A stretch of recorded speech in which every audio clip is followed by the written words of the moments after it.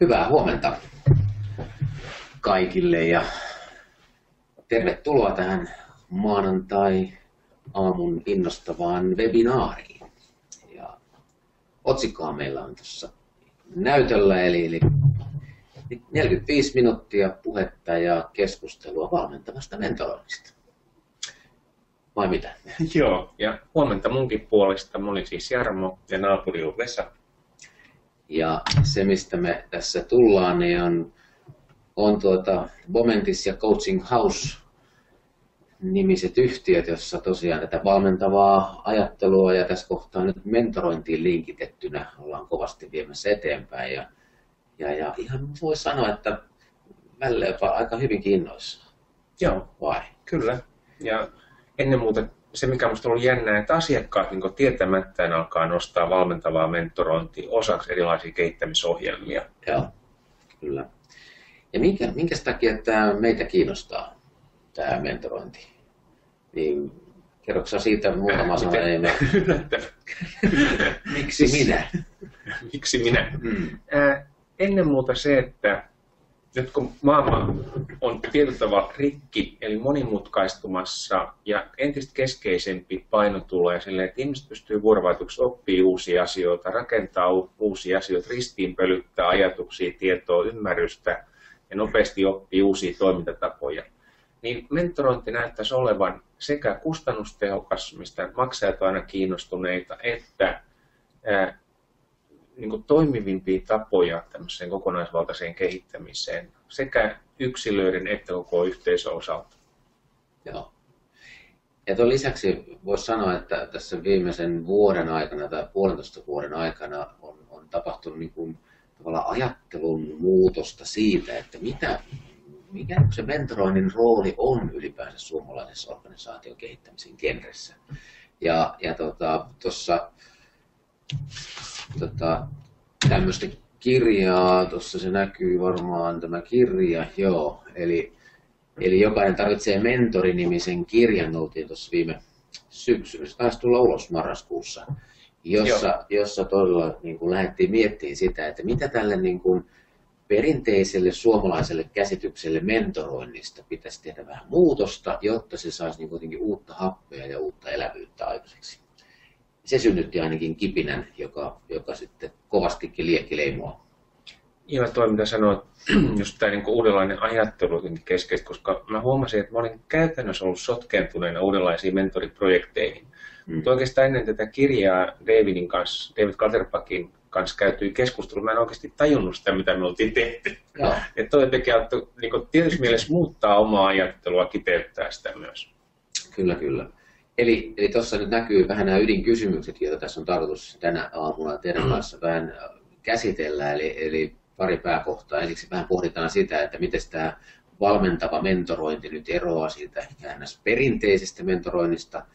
Ja, ja sitten toisaalta vähän esimerkin kautta sitten yritetään valottaa sitä käytäntöä, että mitä se voisi tarkoittaa käytännössä, jos lähdetään tällaista mentorointihanketta viemään eteenpäin. Siinä olisi varmaan niin nämä pääkysymykset. Joo. Mutta tota, tuossa hyppäsin, hyppäsin tämän kalvon yli äsken, otetaan pieni peruutus teknisistä näkökulmista, eli siellä, siellä tuota, taustalla huolehtii Halosen Heidi näistä teknisistä kysymyksistä ja sinne, sinne questions-kenttään, tuossa lukee itse asiassa vasemmassa alakulmassa chat, mutta sen itse asiassa on sopivasti harhaan johtava. eli, eli questions-kenttä on se, jonka kautta meille saatte yhteyden ja, ja niitä tässä tullaan myös kysymäänkin teiltä teidän kommentteja ja kysymyksiä jossain kohtaa tätä aamu, aamuhetkeä. Ja, ja toki sitten tilanteen jälkeen, niin täällähän me olemme niiden kysymysten jatkokäsittelyä varten, jos, jos ja kun tarvetta ilmenee. Mutta lähdetään liikkeelle. Ja, ja aluksi ajateltiin vähän semmoista, että otetaan teidät, teidät mukaan tämmöisellä pienimuotoisella kyselyllä, ja ensimmäinen kysymys, johon toivoisin, että, että vastaisit, ja lähtee ajatus kysymyksestä siitä liikkeelle, että mitä mentorointi sinulle tällä hetkellä siis ensisijaisesti tarkoittaa. Ja nyt vastaat sen, mitä ajattelet, ei sen kummempaa, ja tässä on viisi vaihtoehtoa, jossa siis ensimmäinen on se, että se on tiedon jakamisen foorumi, jossa kokenut kertoo yleensä vähän kokemattomalle. Se voi olla tämmöinen uran edistämis niin kuin painopiste, onko se ajatteluprosessien uusiutumisen painopiste, liittyykö se ensisijaisesti organisaation osaamisen kehittämiskuvioon vai, vai tota, ihan johtamiskulttuuri, muutos, kehittämishankkeisiin. Eli laittakaa sinne, sinne niin kuin ajatuksia esille ja vielä 15 sekuntia saatte vastaalle. 70 prosenttia on, on siellä teistä vastannut. On 86, vielä muutama kahvikupin ääressä selvästi miettii. Ja nyt on minuutti täynnä. Jokunen vielä jäi vastaamatta, mutta hei, tältä näyttää. Eli siinä teillekin tiedoksi. Eli jakaumat on noiden neljän alimmaisen kesken vähän, vähän niin kuin kaussin käyrämäisesti. Toi osa laajamittaista organisaation osaamisen kehittämistä, se sieltä nousee. Mitäs, Joo. Mitä ajatuksia toi herää? Äh, ehkä se kertoo siitä, että tässä on niin kuulijat kuin mekin miettimässä uudestaan tätä mentorointia sen mahdollisuuksia. Ja se on musta siinä mielessä jännä. Ää, ja sitten tietysti tämä on valikoitunutta jengiä. Niin, sen se varmaan kertoo myös, kyllä. kyllä, että ihmiset on jo kiinnostuneita näistä asioista. Kyllä, että on paljon edelleen. Siis mä kuulen käytävillä ja tuolla puheessa noita kahta ensimmäistä. Että nimenomaan se mentoroinnin jotenkin se ydin on siinä, että pitää olla sitä viisautta ja kokemusta, joka sitten ikään kuin jaetaan. Oli sitten uran edistäminen tai mikä. Siis sehän ei ole mitenkään äh, pahasta, että mentorointi on ihan, mentoro, mentori on ihan fiksu tyyppi. Että ei sitä haittaa ole. No ei, joo, se on totta. Kyllä, kyllä. Okei, se oli ensimmäinen tämmöinen tsekkauskohta ja sitten toinen otetaan saman tien tästä esille ja se lähtee sitten hahmottamaan vähän teidän kokemuksia siitä, että miten, minkälaisessa porukassa me ollaan tekemisissä. Eli tuolta valitaan neljän kohdan kautta, eli vähän ääripäistä, että jos ajattelet sitä organisaatiota, jossa toimit, niin onko teillä ei, ei kokemusta mentoroinnista, ehkä joitain satunnaisia, ehkä niin vapaaehtoispohjalla olevia mentori-mentorointipareja, tai sitten teillä on toteutettu organisoituja ohjelmia, tai sitten se on jo niin juurtunut, että voisi sanoa, että se pyörii siellä, siellä on tärkeä osa sitä osaamisen kehittämisen prosessia. Niin valitkaa sieltä.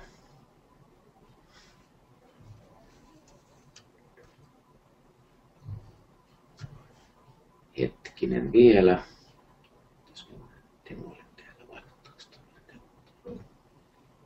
Voin nyt ottaa kuitenkin kiteytyneeksi. Mm. Vielä viisi sekuntia, niin sitten ollaan saatu kaikki matkaan. Se on siinä. Okei, ja nyt teillekin tämä tiedoksi. Siellä on 15 pinnaa ei-kokemusta ja yli puolet on satunnaisia, ehkä joitain kokemuksia ja sitten kolmanneksella on jo pidempäänkin systemaattista Joo, kokemusta. Siis ihan ihmisillä on aika paljon kokemusta. Tämä on kiva pohja. Niin. Ja oikeastaan niin, jos ajattelee tuosta, että on kaksi kolmasosaa, että on niin kuin satunnaisia tai ei lainkaan. Niin enemmän tämä viestii siitä, että on, on niin kuin se systematiikan vaje on vielä ikään kuin odottamassa. Että niitä, niitä on, mutta että miten sitä rakentaa sitten niin vähän, vähän vahvempia rakenteita siihen organisaation systeemiin, niin sitä, se vielä tuossa odottaa niin kuin tulemistaan. Okei. Okay. Mutta kiitos näistä. Saatiin vähän niin kuin alkuhahmoa ja sitten voitaisiin ottaa vähän tämmöistä esimerkkejä käytännöstä nyt vähän niin kuin välähdyksenä vielä noiden pollienkin tuota viitoittamana. Joo, me näytetään teille kolme välähdystä mentoroinnista.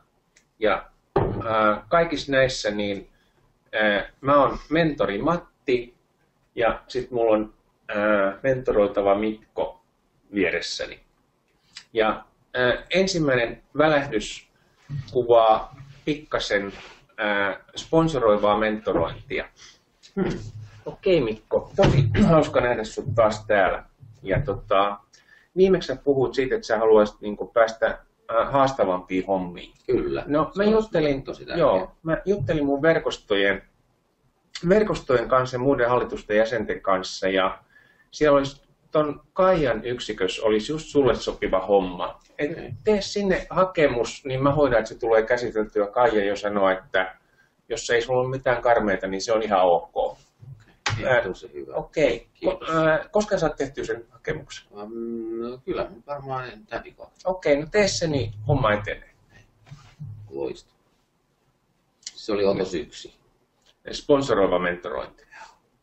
Sitten otos kaksi. Eli mä oon taas Mikko men, äh, Matti Mentori. Mikko täällä. äh, tota, jos mä ymmärsin oikein, niin sulla on joku asia, mikä sulla on pohdituttanut.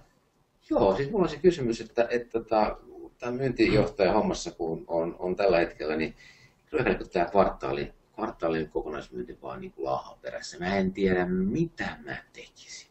On ihan niin kuin, että nyt, siis okei, okay, porukka myy ja myy ja yrittää, mutta ei se vaan näy missään. Okei, okay, kuule muistuttaa mun uralta yhtä keissiä, kun mä vedin ison, ison niin insinööritoimiston hommia. Siellä oli ihan samanlaisia tilanteita. Niin kyllä me silloin alettiin analysoida sitä, että ketä nämä, mitä sosiaalisia verkostoja nämä tapaa, nämä sun myyjät. Eli ää, laitan jokainen piirtää omat sosiaaliset verkostonsa okay. ää, ekana asiana. Ja okay. sitten ää, järjestää joku myyntikilpailu. Vaikka nehän on tietysti aina riskejä, ne voi myös saada jengin toimii huonosti, mutta joku myyntikilpailu. Joo. Ja sitten tota, katsoa, että ketkä ei pääse myyntitavoitteisiin, niin vaihdan ne. Auttaako nämä kolme asiaa sinua eteenpäin? Joo. Joo. Ei, ei huono. Mä, mä, tota, joo, mä otan ton. Okei, okay. kiva. Kiva, että mun kokemusta on sulle hyötyä. No, no. Okei, okay, eli tämä oli siis äh, perinteistä osaamisen jakamiseen kehittyvää mentorointia, joka tietysti voi olla tämmöisiä niin toimintatapoihin kehittyy mm. menevää, tai sitten se vois, voi olla myös substanssi, että kaksi inssiä, kaksi lääkäriä, kaksi juristia puhuu keskenään. Joo. Sitten mennään tähän kolmanteen, jossa painopiste menee enemmän tänne valmentavan mentoroinninkin saralle. Ja, ja tota, nyt mä Mikkona sain tuolta mun mentorilta, mentorilta tosi kiinnostavan niin kuin pohjatyöstön, ja tätä nyt olisi tarkoitus sitten käydä läpi. Ja tässä on tota, erilaisia kohtia, joita mä olen nyt miettinyt tämän niin kuin oman ajankäyttöni ja toiminnan ohjaamisen niin kuin pohjaksi. Ja, ja, ja kyllä mä kuulemma sain tämän, tämän, kiitos tästä pohjasta, tämä oli, tämä oli erittäin, erittäin hyvä. Ja mä oon tätä tässä tämän viikon ajan miettinyt sen viime jälkeen ja, ja tota, tämä on, tämä on pistänyt mut kyllä niin kuin aika, aika lailla niin kuin nöyräksi. Ja toi on ihan jännä, koska mulle kävi ihan samalla tavalla. Mä oon kanssa nyt pohtimassa ja funtsimassa tätä, miten mä sovellan. Mä sain tämän mun omat henkilökohtaiset coachiltani.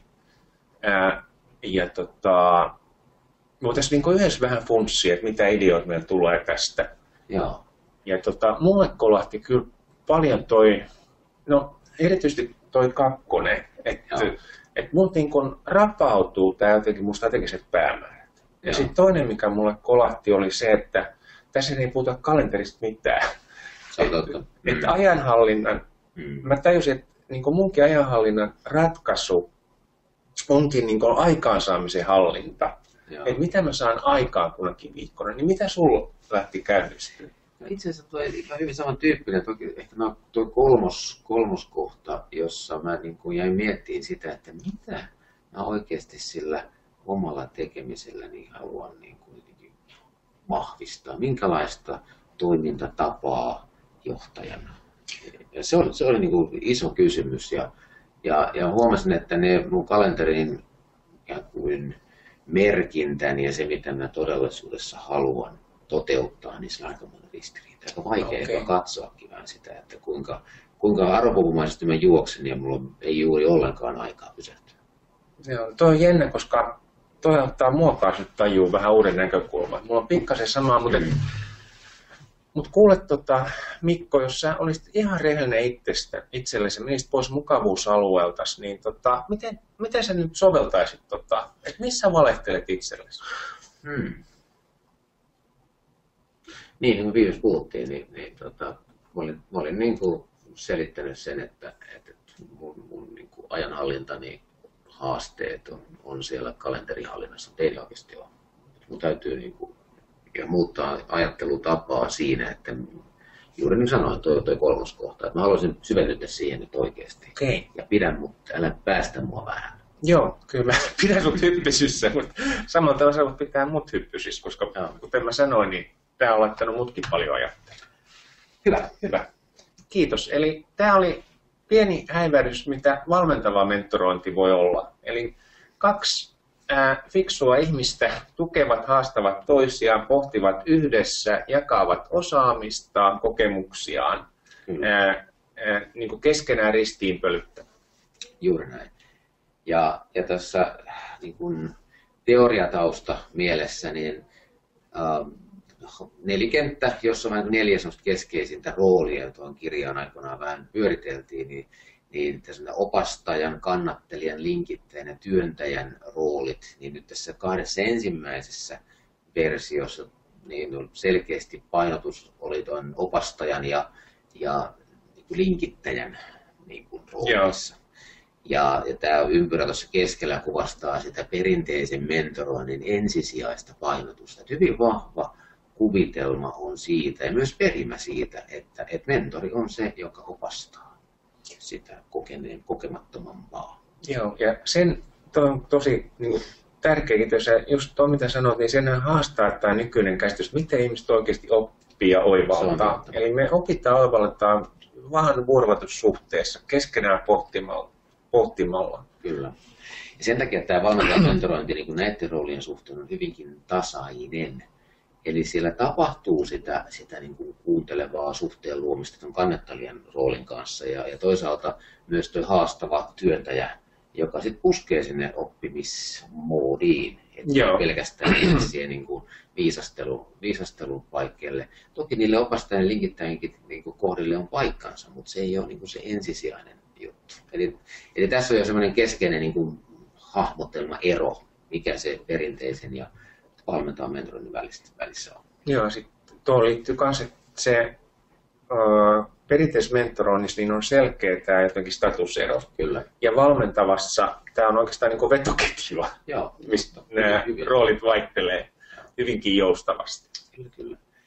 Ja näin sitten vielä määritellään sitä, että mitä se valmentava mentorointi siis meidän ajattelun mukaan on, niin se on erityisesti ja ennen kaikkea yhdessä oppimisen prosessi, jossa molemmilla ei pelkästään ammatillista kehitystä, vaan myös mielentaitojen kasvua. Ja silloin Joo. ollaan sen ajattelu- ja tunneyhteyden niin rakentamisessa.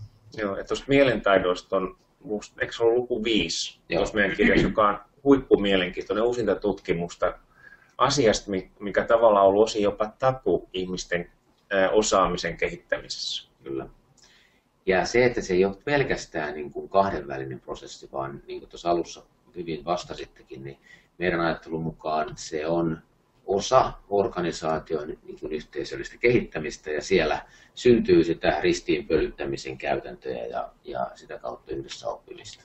Ja vaikka, vaikka toi, toi ehkä vähän liian aikaista, mutta se mikä minusta on ollut jännä huomata, että noissa monissa toteutusmentorointiprojekteissa, niin itse asiassa järjestäjille on tullut yllätyksenä että miten merkittävä on nämä välitsekit Kyllä. jossa jaetaan oppimiskokemuksia ja sitten toisaalta myös paljon heikkoja signaaleja. Juuri Tuossa yhdessä kirja esimerkiksi, niin just kerrotaan tässä, että, että sitä kautta koko johtokin sai semmoisia asioita ajateltavasti, mitä ne ei ollut aikaisemmin osannut funssia. Joo. Eli tämä niin kuin herkkyyden kasvattaminen reagoimaan sisäisiin ja ulkoisiin tapahtumiin yksi niin jännä sivutuote, mitä nyt tässä on mietitty, miten sitä voisi viedä eteenpäin. Just näin. eli summa summarum se on kuitenkin kyse toimintakulttuurin muutosprosessista, jolla vaikutetaan omalta osaltaan siihen tapaan, tapaan suhtautua oppimiseen. Joo. Eli se on niin kuin tässä, tässä on tämä kiteytys määritelmästä ja, ja sitten se, että miten tämä, tämä sitten tota, näyttäytyy käytännössä. Mentäisikö siihen niin kuin vähän rakenne mielessä katsomaan. Ja, ja nämä, nämä niin kuin arjen havainnot siitä, että minkä takia ne mentorointihankkeet voi olla, että on jäänyt vähän niin kuin puolitien tai niiden toimit, vaikuttavuus ei ollut ihan optimaalinen. Mulla on kerätty tänne kourallinen erilaista selitystä ja ensimmäinen liittyy tämmöiseen harrastustoimintaan. Ja mulle tämä jotenkin herättää sen ajatuksen siitä, että et, et se on vähän semmoinen vapaaehtoisten innokkaiden juttu. Joo, ja siis vaikka se on sudenkuoppa, niin eihän siitä ole haittaa. Mutta se pointti on sitten taas, että ainakin ylijohto aina heittää tämän kysymyksen, where's the money, missä on eurot. Kyllä. Niin silloin se voi yksilön kannalta olla myönteistä. Ja osin myös sellainen vapaaehtoinen mentorointi auttaa sitä, mutta se ei taas niin kuin organisaat, koko organisaation kannalta ole se mielekkäin tapa. Joo. Sitten ähm, tästä hiukan jo vähän puhuttiinkin, mutta se on, se on yllättävän syvällä ja pinttyneenä se, että käsitellään tai ymmärretään oppimisen tapahtuvan sillä tiedon jakamisen kautta. Joo, että on jännä vaikka siis Suomessa esimerkiksi Jyväskylän yliopistossa ja Helsingin yliopistossa ihan huippututkimusta mm. maailman ää, luokassa siitä, miten osaaminen oikeasti kehittyy, niin edelleenkin hyvin paljon ää, ajatellaan siltä tavalla, että on yksi fiksu ihminen, joka kaataa sieltä toiselle sen tiedon Kyllä. passiivisesti. Ja sitten se tuottaa tyydytystä sille kantajalle. Kyllä. Sinne jää hyvä Musta fiilis. kiva että... olla tosi fiksu, Nein. joka tunkee sulle Nein. kaikki. Kyllä. Ja mä voin ottaa vastaan. Ja, ja toki tämä ei pelkästään tietysti mentoroi, mentorien ongelma tai se on. haaste, vaan se on, hyvä pointti. se on myös joku esimiesasemassa olevien asian, vahvojen asiantuntijoiden iso ongelma. Kyllä. Sillä estetään niin paljon oppimisen, oppimista tapahtumasta, kun kaadetaan. Joo. Tuosta muuten mun tulee mieleen, hyvä lyhyt kirja on Päivi Tynjelän ää, tästä oppimista oleva. Joo. Joo. Tai sitten tämä tutkiva oppiminen klassikko, mistä on tulossa kyllä uusi painos. Kyllä, kyllä. Ja tämä on hyvä kysymys siellä teille kaikille, että mikä on se sun käsitys siitä, mm. mihin oppimismaailmaan ja ajattelunsa uskot? Kyllä. Yes.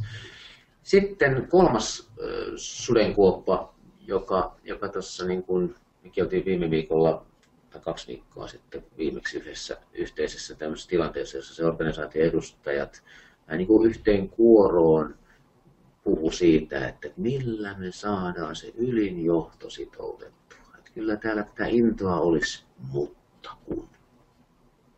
Tämä on iso kuoppa. On. Siis vastaan koska myös toisaalta se on myös aivan keskeinen mahdollisuus, että silloin kun ää, toimaria myöten ää, jengi on mukana, niin silloinhan asiat tapahtuu. Kyllä, kyllä. Se on juuri näin. Siinä sudenkuoppa kolmonen ja nelonen sit siitä, että kun lähdetään liikkeelle itse siihen vähän organisoidumpaankin malliin, niin, niin jotenkin uskotaan, että kyllä ne mentori ja mentoroitavat jotenkin kahdestaan siellä sitten sutviituu ja ne, ne prosessi kantaa. Ja Joo. se tuki on, on niin kuin hyvinkin puutteellinen aivan liian, liian monissa keiseissä. Ja taas kääntäen, kuinka niin kuin pienellä tuen vahvistamisella saadaan vaikuttavuus ihan eri tasolla. Eli, eli tärkeä, tärkeä osa tätä onnistuneen hanke- tai prosessin toteuttamista on taustatuki. Ja sitten vielä tämä viides, viides kohta. Joo, että mä, mä inhoan tätä henkilökemia sanaa, koska siinä tulee jotenkin semmoinen naivi käsitys ihmisten vuorovaikutuksesta, niin siinä on kuitenkin häivähdys, jos haluaa nopeasti Joo. kiteyttää ää, asioita. Ja siinä on totahan on myös tutkittu, että mikä näyttäisi olevan paras tapa. Ja, niin tota, näyttäisi siltä, että kun ihmisillä on riittävästi yhteisiä arvoja, jotenkin tämmöistä yhteistä kutsumusta, Kyllä. niin se yhdistää enemmän kuin mikään muu tekijä. Kyllä. Ja sitten toisaalta on tietysti hyvä katsoa vähän, vähän tota, persoonallisuus- ja käyttäytymistaipumukset, ne on liian erilaisia. Kyllä. Mutta että erilaisuus on suotavaa, mutta tärkeää, että on näitä yhdistäviä Ilman, asioita. Kyllä. Joo. Ja toki tuo nelos- ja viitoskohtaa linkittyy toisiinsa, että, että sitten mitä tehdä vaikka mentori, mentoroitavana, jos nyt tuntuu, että tämä ei oikein mätsää tämän mun mentorin Joo, kanssa ja kyllä. minkälainen taustatuki sitten siihen on järjestetty, niin se pääsee niistä asioista jotenkin yrittämään ratkaisua ja tai sitten jopa vaihtamaan sitten pari. Joo. Ja oikeastaan kutoskohta Joo. nyt kiteyttää vähän sen saman, että se on vaan siis siinä enemmän niin kuin ra- rakenteessa oleva ajatus, että, että kun sitten kerätään se porukka yhteen aina välillä, niin semmoista ääntä kuulee, että sinne pitäisi tuoda joku, joka kertoisi taas jotain viisauksia sille porukalle. Joo. Et sen sijaan panostettaisiin siihen jakamiseen kulttuuriin niiden eri mentori, mentori mentoroitava parien kesken. Joo, tai sitten tähän niin kuin tutkivan oppimisen kulttuuriin Kyllä. enemmänkin, että ihmiset tekee yhdessä, selvittää asioita, oli se Kyllä. sitten ihan kovaa substanssitietoa tai sitten johtamiseen tai vuorovaikutuksiin liittyviä asioita. Et kun ihminen viime kädessä sisäistää vaan sen, mitä se on itse jotenkin selvittämässä ja pohtimassa. Juuri. Kannettu vesi ei kaivossa py- Ei. pysy, kuten Ei pysty. taas yksi suuri suomalainen sananlasku. Näin juuri. Ja tässä on sitten yksi esimerkki siitä, että miten se, miten se niin kuin kustannustehokkaana toimintana parhaimmillaan voisi olla. Että siellä on, siellä on neljä eri, eri niin kuin tasoa, tuolla ylhäällä olevat palurat viestittää siitä tietystä systematiikasta, jolla, jolla nyt noin vuoden aikana oleva prosessi, eli Q4 tämä nyt on tähän laitettu alkamaan ja Q3 päättyy, niin siinä siinä tuota, tapa, tapaamisia on ja, ja toki mentori mentoroituva parit siinä sitten hyvin itse organisoidusti niin kuin sopii niistä. Ja sitten se tuki, joka tässä lähtee liikkeelle tuosta A-kohdasta, on, on, on tämä mentoreiden erillisvalmennus. Ja se on, se on meidän kyllä vahva kokemus, että et, et siinä täytyy siinä alussa saada hyvin niin kuin, tavallaan siihen identiteettiin semmoinen aika iso heräte. Että mitä se tarkoittaa olla mentori? Ja samalla luoda vähän sitä yhteisyyttä sen mentorien kesken, että, että tavallaan saadaan sille se rooli selväksi ja toisaalta sille tiettyä niin kuin, työkaluja myös sen arjen, arjen mentori, mentoroitava parin ohjaamisessa. Joo, käytetään. mulla on ihan sama kokemus, että toi niin kuin keskeiset, kun mentorit ymmärtää, että hei me viisastelemaan, vaan he menee yhdessä pohtii ja myös niin kuin, äh, haastamaan äh, Joo. myönteisellä tavalla, Ja, niin siinä tapahtuu isoja kolahduksia. Et just toi, mit- mitä sanot identiteetiksi, niin se on just jotenkin tämä niin kuin naksaudut, että kuka minä olen tässä suhteessa. just. Ja se ylittää kaikki nämä niin sanotut työkalut ja muut. Et toki me helpotetaan keskusteluja mutta et, Mm. niillä, mutta et mentorointi on musta siinä mielessä kivaa, että siinä sun ei tarvitse käydä kahdeksan viikon kurssia, että sä pystyisit mentoroimaan, vaan sä voit olla hyvinkin niin kuin oma itsesi. Joo. Ja sitten muutama täydentävä juttu ja tietyllä tavalla sit näitä niin kuin yhteisiä pohdintapohjia, mistä nyt esimerkiksi tuommoista ajankäytön pohdinnat Mm. voisi olla yksi mahdollisuus. Kyllä, kyllä. Joo, eli se on, se on tuossa tuo A- A-kohdan valkinta. Toki tarvitaan sitten myös siihen prosessin välille sitä vertaiskokemuksen jakamista, että miten se mun, mun kokemus mentorina on onnistunut ja mi, miten mä oon sitten niitä vaikeampia tilanteita käsitellyt. Niissä syntyy pienempi, pienempi niin kuin oppimisen paikka. Ja sitten vielä tuohon, että nehän on siinä mielessä tärkeät sen maksavan urheilu, järjestävän urheiluseuran kannalta, että sitä kautta tulee niitä teemoja, jotka kannattaa vielä yleisiin juttuun. Esimerkiksi voisi sanoa prosessien heikkoja kohtia tai Mm. jos miettii lean-malleja tai mitä tahansa. Kyllä. Ja tästä tietysti hypoteesina on, on useimmiten tämmöinen kokemuskin, että, että jos ja kun se on organisaation sisällä onnistutaan tekemään, että, että on niin kuin riittävä etäisyys sit niillä mentori, Joo. mentoroitavien välillä niin kuin organisaatiossa, niin päästään huomattavasti tietysti syöpiin keskusteluihin ja oppimispaikkoihin. Joo, ja niin kuin tässä pohdittiin viime viikolla, että ketteryyden yksi keskeinen elementti on läpinäkyvyys. Että ihmiset ymmärtää, mitä toiset touhuaa.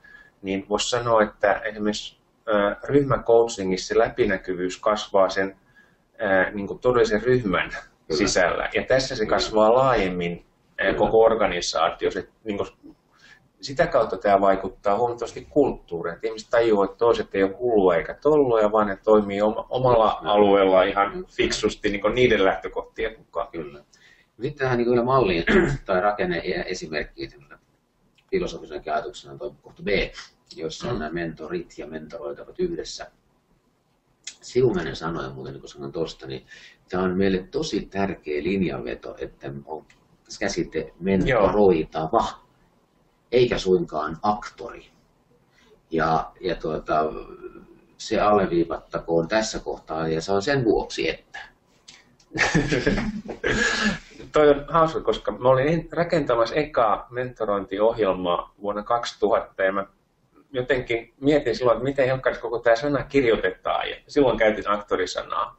Ja ää, mä oon koko ajan jotenkin inhonnut sitä. Mm.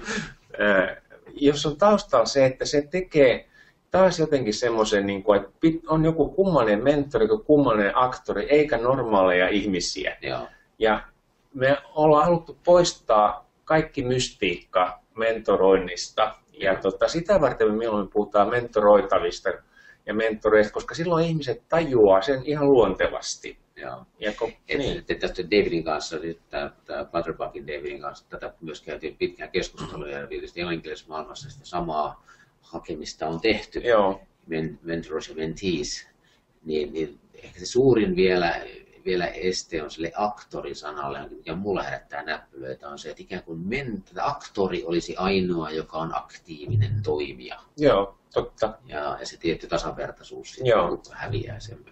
Okei, se oli siis hyppy tuonne, tonne, tota, vähän käsitemaailmaa, mutta siis tärkeä osa toi B-sarakkeessa on se, että, että on niitä yhteisiä ristiinpölyttymisen paikkoja, joissa ollaan siis kaikki, kaikki yhdessä. Ja, ja tässä tapauksessa kaikki yhdessä, eli mentori ja mentoroitava parit, jakaa niitä, niitä niin kuin syntyneitä kokemuksia, luo sitä yhteistä ristiinpölyttymisen kulttuuria. Joo, ja silloin sieltä tulee jaettavaksi toisaalta niin kuin se toimintatavat, että millä Kyllä. keinoilla on toimittu, ja sitten toisaalta niin kuin se sisältö, että mitä sisällöllisesti ollaan opittu oivalluttu ja missä voidaan mennä syvemmälle. Kyllä. Ja toki tuossa alussa on tärkeää ihan, ihan, ihan siis siihen prosessiinkin liittyvät sopimukset ja, ja pelisäännöt ja odotukset, kyllä. että saadaan niin luotua siihen rakenteita sille, sille niin onnistumisen edellytyksiä sille, niille pari, pari työskentelylle. Sitten myös mentoroitavat tarvii sen oman identiteettinsä vahvistamiseksi. Kyllä. Ja, ja niin kuin tuosta voi vähän hahmottaa, niin se, sitä voisi olla enemmänkin, mutta jos pitää jostain karsia, niin siinä oleva karsiminen ei välttämättä tuota niin isoa vajetta siihen onnistumiseen. Joo. Eli sen takia tuossa nyt on muutama täppä laitettu tähän mentoroitavien erillis, erilliskokonaisuudelle. Siellä on myös musta ihan tärkeää ihan samalla tavalla niin kuitenkin tämä identiteettikysymys. Kyllä. Että äh, et ole passiivinen vastaanottaja, mm. vaan äh, aktiivinen toiminta ja niin on sun kaveriskin mentori. Niin. Ja että voitte vaihdella näitä rooleja. Kyllä. Ja todella sitten tämä D-kohta tuolla alapalkki, niin sinne, sinne mahtuu sitten monen muista ja, ja siitä tuota, taitaan puhua vähän, kohta vähän myöhemmin lisää. Että vaan nopea vielä tuohon, että siis se mikä tulee noissa kummassakin äh, kanssa aina meidän toimesta on just tämä, että äh, miten aikuiset oppii nopeasti just hahmottaa näin. uusia tietoja ja minkälaisia keinoja on erityyppisten uusien tietojen hahmottamisessa. Just näin. Itse asiassa katsotaan kelloa, meillä on semmoinen reilu vartti tai vajaa vartti aikaa, reilu 10 minuuttia, niin eikö tässä voisi... Sen minuutti. Niin, juuri näin. Eli jos ja kun saisitte ääneen ajatella siellä päässä tai ääneen ääneen, mutta laittaa hetki hiljasta aikaa ja puolen minuutin päästä saisitte laittaa tuon questions-kenttään jonkun kysymyksen, joka tähän asti teitä on askarruttanut, johon haluaisitte, että me vielä tämän viimeisen tovin tässä sitten keskityttäisiin, niin olisimme käytettävissä. Eli questions-kenttä ja hetki hiljaisuutta laittakaa kysymyksiä tulemaan.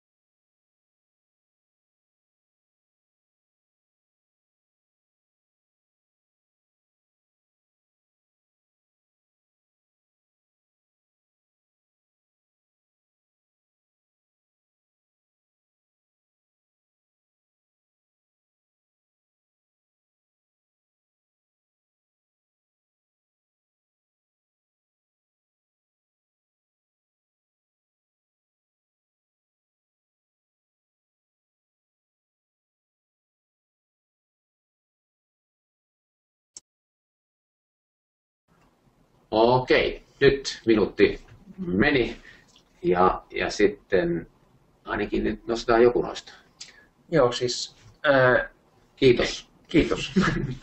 Eka kysymys on se, että no, miten mentorointi ja coaching eroavat toisistaan? Tiukka määritelmä. Joo, hyvä, hyvä kysymys. Äh, sanotaan näin, että, että se coachingin perusajatushan perustuu siihen, että, että minä coachina ja sinä coachattavana, niin sun potentiaalin käyttöönotosta on kysymys ja mun tehtävä coachina on yrittää saada se esille sieltä. Ja Mm. hyvin vahvasti semmoisella hyvien kysymysten tekemisen osaamisella. Mm. Ja, ja tota, perinteisen coachingin filosofiassa niin eihän siellä niin kuin juurikaan kokemuksien jakamiseen ole edes lupa. Se on hyvin niin kuin pannassa. Ja, ja tota, nyt jos tämä valmentava mentorointi, niin se valmentava osuushan tuo vahvasti tämän coaching-taidot siihen keskusteluun mukaan. Eli oikeastaan se erottelu, erottelu on enemmän siinä, että se, se laajenee se coachin rooli, kun se tulee tämän valmentavaan mentorin rooliin. Ja, ja silloin sulla on se kaikki, mitä sä coachina osaat tai voisit osata, niin sen sun kokemuksessakin rinnalla sä voit käyttää molempia. Joo. Tuossa on hauska, että toihan itse asiassa, ää, no mä koen, että on se tapa, miten mä oon aina coachannut. Niin, niin, niin juuri Ja näin. mitä ylimmän johdon kanssa tarvitsee itse Kyllä. aina tehdä. Kyllä, kyllä. Siellä ei pelkillä kysymyksillä pärjää. Ja. Okei, mutta hei, nyt jos on sen verran vähän aikaa, niin mennään vielä tähän loppu, loppu muutama ajatus. Ja tässä, tässä niin tähän organisaatiokohtaiseen mentorointihankkeeseen liittyvät neljä, neljä tärkeää roolia. Siinä on tämä oikealla puolella mentori ja mentoroitava, josta nyt on ollut puhettakin, mutta on erittäin tärkeää huomioida myös sitten sitä mentoroitavan esimies siinä kokonaisuudessa. Joo, ja toi itse asiassa olisi pitänyt olla niissä sudenkuopissakin, Se on koska siinä, Se on totta. siinä tapahtuu tota, usein tosi pahoin mokia, että linjaesimies ei tiedä, missä alaisensa huutelee, oli se kummassa roolissa tahansa, ja, saa vähän pultteja siitä. Kyllä. Ja vähän kateellinenkin siitä, että mistä nyt musta, kun se nyt puhutaan. Joo. Ja taas päinvastoin, että silloin kun niitä on riittävästi käyty linjan kanssa läpi, niin ne näkee sen meidän kokemuksen mukaan niin hyvinkin innostavana ja hyvin kannustavia. Joo. Et kun siinä on aina se, että kaikki mitä me ei tiedetä, me täytetään pääsääntöisesti negatiivisella mielikuvituksella, se sanoo niin. Just näin, kyllä. Ja tosi ohjelmakoordinaattori on sinne tärkeää, että sen ympärille rakentuu paljon siihen käytännön toimintaan liittyvää tukea. Kyllä. Eli, eli, eli siitä, siitä vielä, vielä sitten tarkemmin, eli mitä se tuki, tuki on, niin toki se on sitä, että suunnitellaan sitä kokonaisuutta, ja, ja tietysti se myös tämä meidänkin osaaminen on käytössä. Ja, ja tuota, mutta ennen kaikkea se, että kuinka niin kun alussa saadaan tietoa siitä, että mikä on se ja kun organisaatiokulttuurin mentoroitavuuden taso, eli mistä, minkälaiseen maaperään ollaan niin kun rakentamassa sitä ohjelmaa. Toi on tosi tärkeää, että mikä on se maaperä Kyllä. ja mihinkä ihmiset on valmiita. Se on taas tämä mun lempiteema mielentaidot. Joo, että miten se mätsätään tietyssä mielessä, sanotaan nyt niin ihmisten keskimääräiseen ää, valmiustilaan, että minkälaisia asioita ihmiset on valmiita ottaa vastaan. joo, Toi yksi, missä mä oon aikoinaan tehnyt kehittämisessä paljon mokia, että ää, en osannut arvioida niin kuin mätsäävästi sitä, että joko liian vähän tai liian paljon. just näin. Just näin. Sitten se semmoiset niin arviointisyklit siitä, että on niin kuin hyvin heti alkuvaiheessa ja se, että miten se lähtee se pari niin kuin toimimaan. Joo. Ja, ja sitä pulssia sitten haetaan vähän erilaisilla kysymyspatteristoilla, jotta pystytään sitten puuttumaan siihen toimattomaan pariin ihan siinä alkuvaiheessa. Eli se on, se on hyvin keskeistä. Ja toki sitten näitä valmennukset, jossa luodaan sitä yhteistä ajattelua, Joo. on, on niin kuin keskeistä. Jees. Ja vielä sitten, jos kiteytetään näitä hyötyjä, että mitä se parhaimmillaan niin kuin tämmöiset, okei äsken esimerkki vuoden kestävä hanke sille, sille ryhmälle voisi vois olla, niin se ensisijaisesti on sitä, että, että tässä tarjotaan sille ylimmälle johdolle ja organisaatiolle sen strategiseen osaamisen kehittämiseenkin liittyvä tuki ja prosessi, jolla Joo. kilpailukykyä lisätään. Ja ennen kaikkea että yhteistyöverkostot on hyvin tärkeitä. Niin on, koska organisaatiot on itse asiassa verkostoja. Kyllä, kyllä. Suuren verkostoja ja niiden, niiden niin pölyttymisestä on kysymys. Mitäs tosta? Ää, No se on tämä yksi, mistä HR aina tykkää, että on systemaattista kehittämistä. Kyllä. Se on- Ja, ja nimenomaan niin, että se, se ei ole niin irrallaan sitä muusta, vaan Joo. että se on niin hyvin, hyvin vahvasti siihen kytkeytyy siihen arki, Joo. Ja toi on ihan keskeistä, että ei tehdä niin semmoista irrallista, Kyllä. vaan niin muuhun toimintaan upotettu. Ja usein esimerkiksi esimieskehittämisohjelmat tai tiimikehittämisohjelmat hyötyy samanaikaisesta mentorointiohjelmasta, Kyllä. jolloin ne tukee toisiaan. Kyllä. Ja sitten saadaan tietysti itse osallistujille siihen niin kuin mielentaitoihin ja henkilökohtaiseen kasvuun ja sitä kautta sitouttavaa niin kuin, hyötyä. Ja tämä on prosessi, jolla tehdään sitä valmentavaa, keskustelevaa organisaatiokulttuuria todeksi. Joo. Mä lisäisin vaan vielä tuon sanan vertaisvalmentavaa. Joo, totta. Ei se ei ole niin esimerkiksi alaisuuden Ei, vaan siis se on... Kyllä. Se on, se on sekä että, mutta mm. että myös esimies alaissuhteessa nykyään tämä, että alaiset usein sparraa esimiestä. Kyllä. Kyllä. Tai sitten jos on hankala esimies, niin fiksu alainen ohjaa sen käyttäytymistä. Joo. Se on toisen webinaaria. Juuri näin. Hei, sitten vielä yksi tämmöinen kysymys, jossa olisi vähän teille palloa, että jos arvioit sitä omaa arkea, niin mikä olisi se tarve, jonka sitä tukea voisit tällä hetkellä eniten tarvita? Liittyykö se tähän niin kuin idean myymiseen ja markkinointitukeen, toisaalta tähän kokonaisuuden suunnittelutukeen, mentori, mentoroitavien kouluttamistukeen ja, tai sitten ylipäänsä siihen niin kuin tausta onnistumiseen, että, että syntyy, syntyy sitä onnistumisia siellä vai, vai sitten tuo viimeinen kohta, että se nyt ei tällä hetkellä ole se, se keihään kärki. Eli pienet pikavastaukset, jossa siellä vastauksia alkaa tulemaan. Olet vastannut ja vielä odotetaan se reilu 10 sekuntia. Ja vielä 5 sekuntia vastausaikaa. Kaksi, yksi ja nyt. Osa.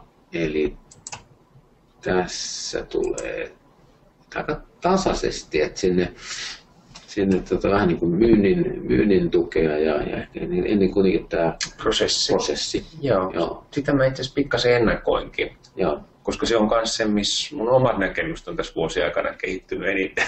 Niin, aivan. Hyvä. Me ollaan nyt ihan muutama minuuttia vaille maalissa. Ja tämä kysymys tosiaan tuli, tuli tehtyä. Vielä tiivistettynä näin, näin niin kuin aamutuimaan tästä tämä Momentiksen kokonaisuus, jossa tuolla alakulmassa on tämä mentori, mentoripalikka ja, ja mitä muuta me tehdään, niin se näkyy tuossa tähdessä, tähdessä ulkokehällä ja kuitenkin tätä kulttuurin rakentamistyötä ytimessä ollaan tekemässä ja sinänsä tämä valmentavan mentoroinnin osaaminen on tärkeä valikka siinä.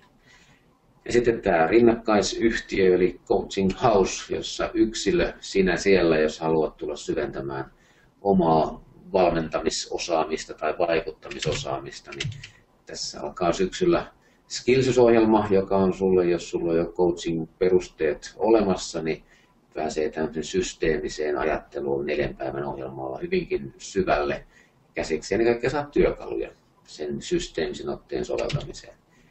Ja sitten jos ottaa, ottaa vielä haluaa niin sertifiointimielessä rakentaa sitä omaa coach-osaamista, niin tämä Insys-ohjelma, joka lähtee 9. vai 10.